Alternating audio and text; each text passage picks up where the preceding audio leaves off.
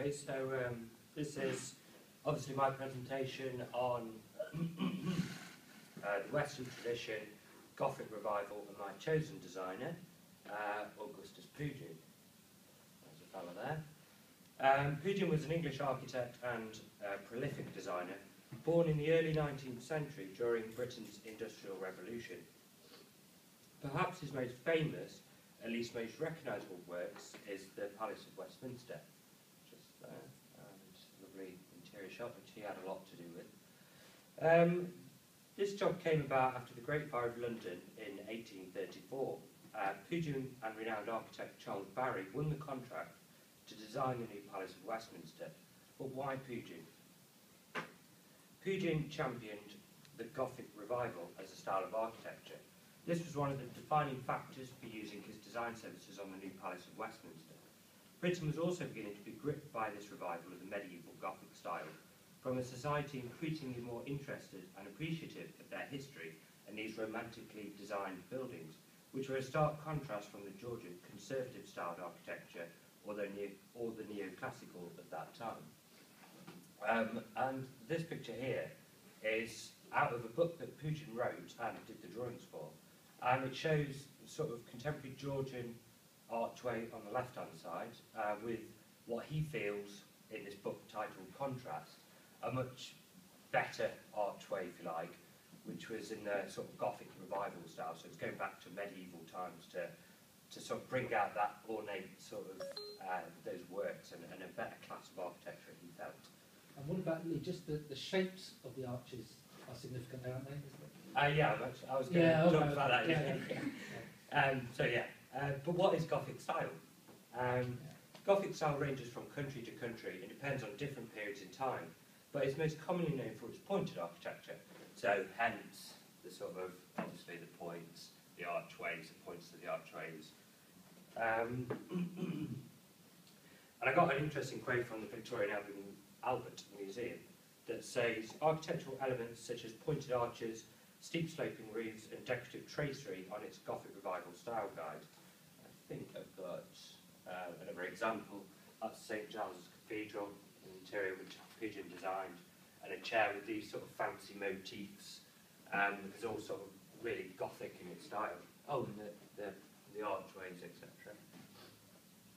Um, so, the distinctive style of medieval design was used by Pugin extensively.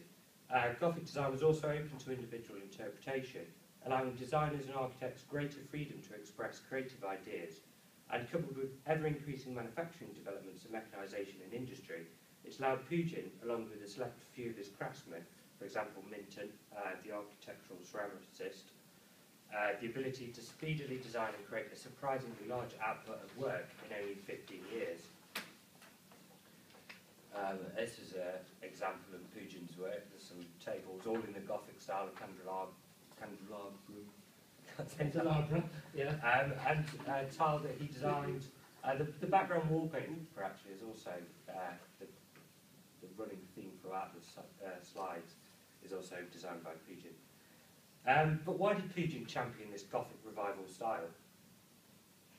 Um, there are a few reasons Firstly, during his young years, he was besotted by this romantic medieval age. His father, Augusta Pugin, um, a good illustrator of buildings, would school teenage boys and his son Augustus in, a, in illustration, perspective and shading. These are some examples. That was actually um, off the British Museum website. Um, inscribed my first design. I think he did that around nine years old, I think he put as well. Uh, really good for a nine-year-old story. And these, um, there was a documentary, Time Team did a special on Pugin called The, the God of Gothic. And these were just some stills that I'd captured whilst watching the video. And apparently, uh, is it Tony Robinson? Baldrick? Yeah, that's right. He Yeah. said um, uh, that he did these about the age of 12, uh, at least these ones anyway. Um, when went off on holiday drawing illustrations of, around Europe and, and parts of Britain. Baldrick's a good person to be doing that programme. Thinking of Blackadder. Yeah. um, so, sorry, I've lost where I am now. Uh, yes, did it. Uh, they would they would tour much of Britain and Europe, exploring medieval buildings and churches, uh, creating drawings by looking, inspecting, measuring, and digging for accuracy to really understand the architecture. Uh, this gave Pu- uh, Pugin first-hand experience of these gracious medieval buildings and also in honing his design skills in that style. Um, other influences included the German painter and engraver Albrecht Dürer, particularly this medieval uh, engraving, copper engraving, uh, titled Knight, Death and the Devil. Um, and Walter Scott, the historic and romantic novelist, also, also influenced Pugin and his desire to engross himself in this medieval period. Uh, this obsession with the Gothic style worked well for Pugin in this Victorian period. Economically, Britain was thriving because of the Industrial Revolution. Factories and industrial build buildings were popping up all over Britain, particularly in the northern cities. But this brought about civic and social problems. Pugin, being a recent convert to Catholicism, saw these problems, the ugly buildings, the smogs from the industrial chimneys, the slums people were living in, and the mechanisation of Britain, and felt that the, the medieval ideals, uh, strong religious order, uh, that was also gaining momentum after the Reform Act and the Catholic revival, uh, was what was needed. With Pugin's gift of design, prolific and meticulous work ethic, his passion for Gothicism, his religious beliefs, uh, forward thinking, and distaste for where Britain was heading, combined in his many publications, for instance, Contrast, uh, the, the shot that I saw before, I'll get back to that um, almost served as a manifesto to solve Britain's looming civic and social issues. His views were met with enthusiasm. He was literally the right man at the right time. Pugin's intention was to solve these problems through civic and religi religious buildings, um, which he felt were the purest form of godly architecture, uh, as in the Gothic revival style. So he was literally looking to the past to solve the problems of the future. Um, Pug- Pugin's most significant piece of work for me was not Alton Towers. Just bear with me, I'll go back now. Uh.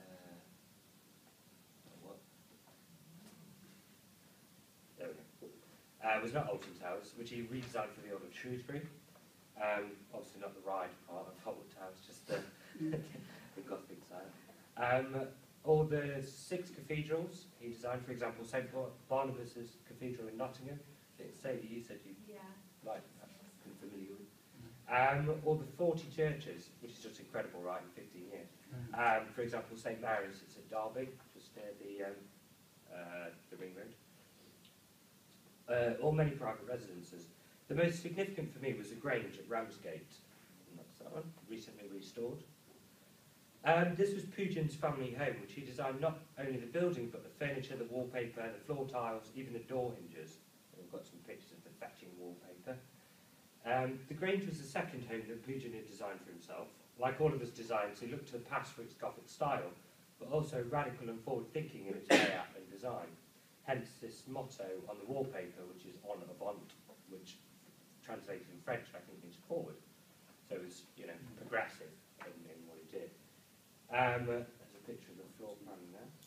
Unlike other Georgian designed domestic dwellings of the era, of which were designed in a subdued, symmetrical, conformative style, focusing on the building's exterior, the Grange tackled domestic house design from the inside out. Um, the occupants were the focus. Rooms were designed with more thought. Windows were put where Pugin wanted light or to enjoy the views, and not where they looked right from the outside. Chimney stacks were moved to the exterior. Hallways with gallery staircases were used, and connecting corridors between rooms. Um, pitched roofs, and the Grange was built with brick, not stone, because the Georgians built a lot as I think, with stone, I suppose, brick. Which uh, brick was seen as more sort of what you'd build a factory or an industrial sort of building out of, as opposed to particularly a house, I think. Um, Pugin's house served as a blueprint and revolutionised the way Britain designed homes for at least the next century.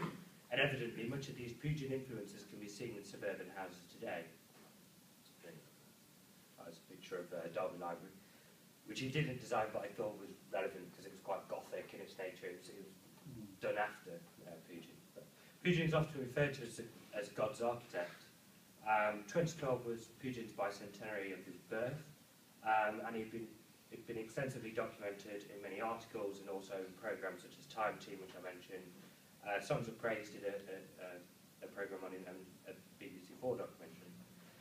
Uh, Jonathan Glancey, an architectural critic for The Guardian on Pugin's house, The Grange, says its structural and